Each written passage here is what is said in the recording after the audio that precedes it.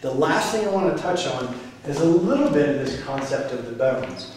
If you've seen stuff out in the yoga industry or biomechanics or movement trainings and stuff about the unique nature of bones, if we were to take a whole bunch of different tibias and femurs, tibial plateau, which is what most of your knee rests on, all of your knee rests on, and then the, the femur and the condyles that come on down to it.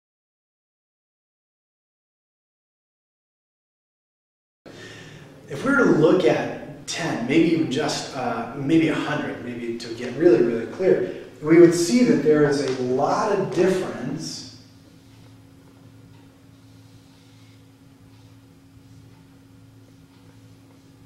in the shape of the bones. So if this is our femur, I didn't quite draw that to spec, sorry about that.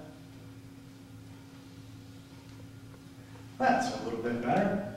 Looks a little bit like Snoopy. So if we were to look at that femur, and we could do this with arguably all the bones in the body. The, the skeleton that I use a lot in trainings and workshops is pretty much the same skeleton that I see in most of the studios, sometimes even in foreign countries as well.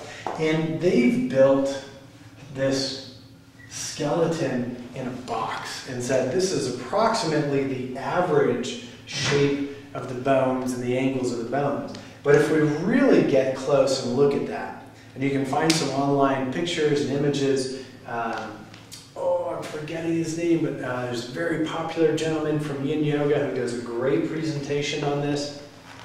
Uh, I'm forgetting the name. If this is up on YouTube and you see it, feel free. Paul Grilley. Now you don't have to post it on there. Paul Grilley.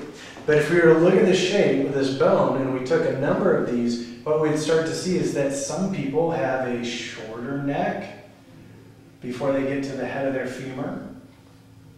Some people's femurs are at a different angle.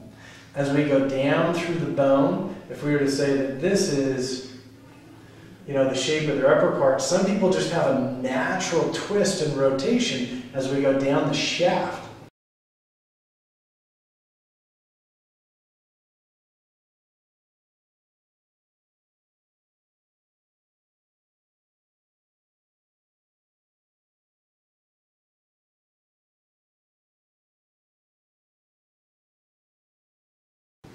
And so if we lined their knee up, if we looked right at the inside of the condyles and the tibial plateau, and we lined it up for the health of that, what we might see is a really different angle at the, the head and neck of the femur.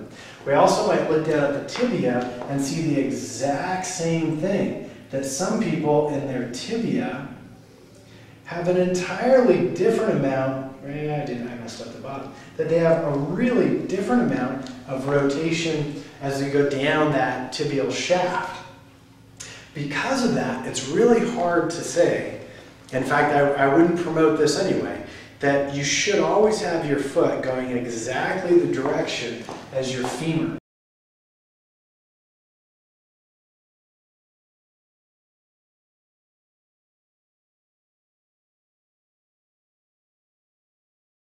And this is one of the ideas that you know is pretty common for a while. And if your femur went this direction, then your foot should be pointed in this direction as well.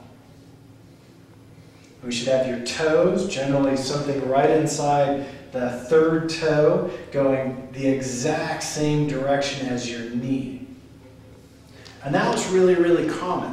Now, because we don't know the exact inside of the joint, it's hard to say that that's the healthiest. And it's very easy if somebody had quite different bone rotation angles that if you force them or encourage them to do this, they would be creating twist within their own knee. And that, that wouldn't be a very healthy thing. They might never have an injury, it might never cause a problem, but it increases the odds that we develop some complications. So, here's what I would offer. There are, if you go through a lot of trainings, there are some minor things that you can look at. You look at some small landmarks and get clues.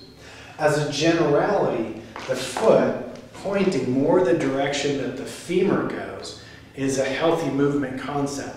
And the basic reason on that is your foot is part of your walking and it's intended to help you push down and launch you forward. So if your foot is traveling that direction, and part of your knee is traveling that direction, and you're walking that direction, every time your foot pushes, it creates a little bit of a turn all the way up through those joints. And even if your joints are built for rotation, that's going to add to some torque in some of those joints. Now, if your bones are shaped that way and you force them straight ahead, again, you'll also add torque into some of those joints. And this could be even worse than, than just having your foot go off to the side. So there is an intent, there isn't a re, there is a good reason to begin to orient the appendages into the direction that you're moving. And that goes all the way down to the tips of your toes. But with that curveball of potential different bone shapes, we have to be really careful in forcing that situation. Here's one of the things that I can tell you. When we go to walk or squat or sit or stand up, there are some pieces. Now this is more for something, if you're walking up a flight of steps, we can take each step as an individual basis. If you're squatting and standing up, if you're sitting and standing up, and to a small degree, some of the walking stuff. There is an important thing. If your foot is here, the best place for you to push down is with your knee over the foot. And that's just a physics thing. If I'm going to be using muscles and creating a downward force, I want that downward force to go as directly down as possible. If, I, if I'm walking, my knee goes out over my foot, my, there is a downward force at slight angles. And if I want to go forward, part of that downward force could lean a little forward and then push down back. And that'll help me go forward. But if I have a knee Say this would, this is our, this is our estimated vertical.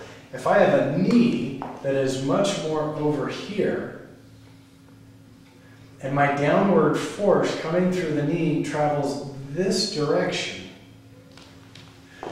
that's going to make the knee slightly go this direction. Every time I use the muscles to push, it might be only moments and it might not be very intense, but given a lifetime, or an intense activity, every time I go to push down, I'm going to push the knee and displace some of these tissues even more. Now, I don't always have to rotate the foot the exact same direction as the femur. By the way, this also plays out if your knee is too far off to the side. There's a little bit of range that we can do with that. But usually, your best power place is to push directly down. So whether or not you rotate the foot so that it's the direction of the femur, is a, that's a hard one to say. Whether or not we should do that, I'm going to tend to say very rarely am I going to go in that direction as a yoga teacher. But I am definitely going to promote, even if the foot is slightly rotating and it looks like the knee is in a pretty healthy alignment, I want that knee right in that target zone right above the foot and ankle. That I definitely want to create. So if I do that second warrior pose and I create a habit and a tendency to move my knee out from being above the base, I've lost a lot of my function and power and durability and things like that. So I definitely want to try to get that knee over my base.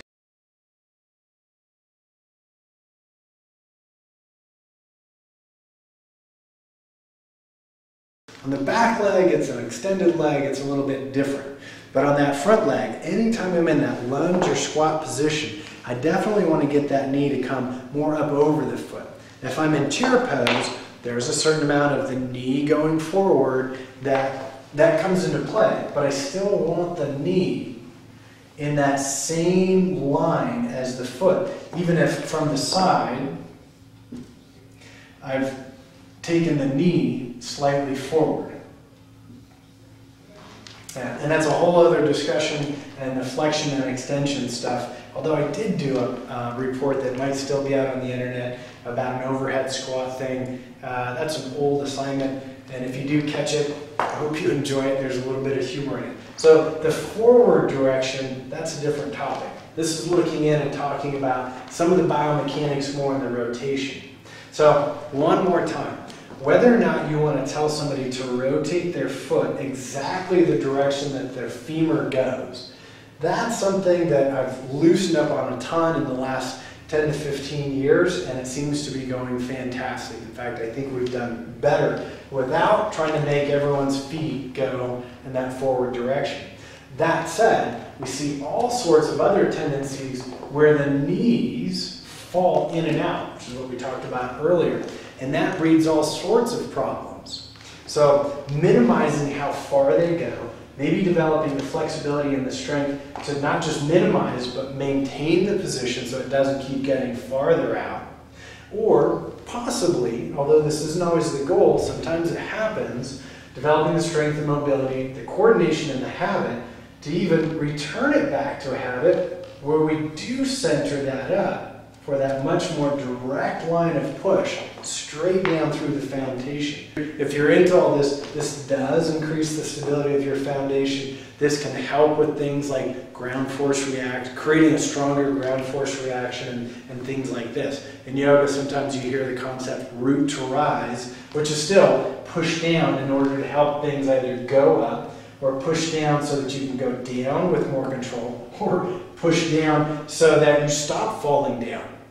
So all of those depend on the positional relationship that we have in these bones and parts of the knees. All right, there's your intro to knee biomechanics. I hope that helps out. It doesn't necessarily tell you how to do a yoga pose, but it might give you some food for thought in what you do in the yoga pose and why you practice the pose the way that you do. All right, this is Adam Ballenger. I hope that was good for you. It was good for me.